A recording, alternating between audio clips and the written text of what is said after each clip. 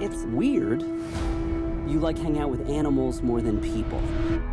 Yeah, well, animals get me. I rescued George when he was two years old. George never would have survived on his own.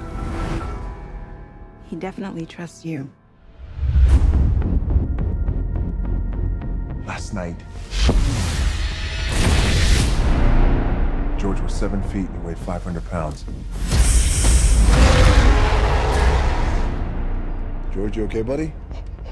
You're scared. It's okay. This morning, he's nine feet, pushing a thousand.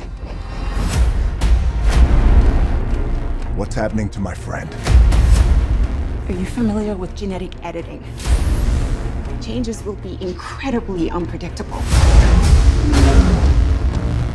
Is he the only one? Oh, you didn't know about the 30 foot wolf?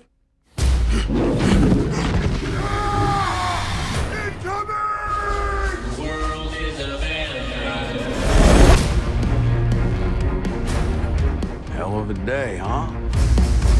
Science experiments falling from the sky. Having George on that plane is a big mistake. I think we'll be all right.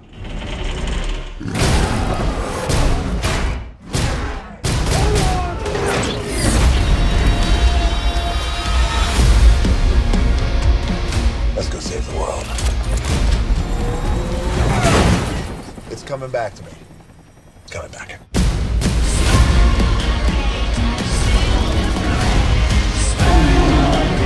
You have to evacuate Chicago. George didn't ask for this. They're gonna put him down. That's not happening.